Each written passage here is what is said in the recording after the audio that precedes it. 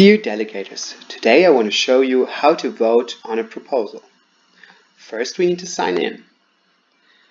Click on sign in with Ledger Nano S, we prepare our Ledger Nano, activate it and go into the Cosmos app.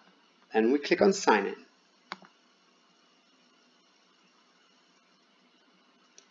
Now we click on governance and check out the proposal that has a green dot because this means that voting is open. On it. Now we are able to vote on it.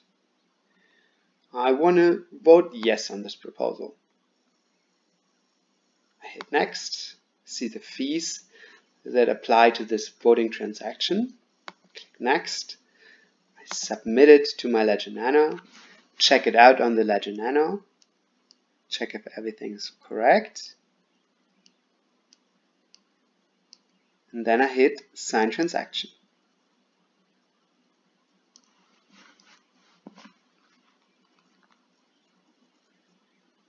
And we see our vote has been activated.